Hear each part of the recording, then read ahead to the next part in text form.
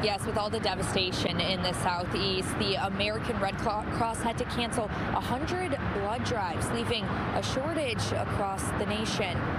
While they're expecting to cancel more depending on the impacts of Milton, right now they're without the 2,500 units of blood they typically would have collected.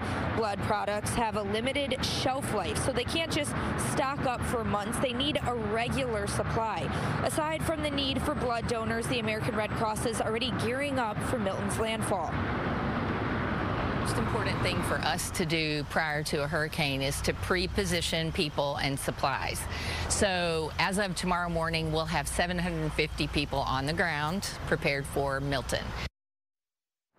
The organization also has around 2,000 people assisting with Helene damage, and they're looking for more volunteers to deploy to Florida for two weeks.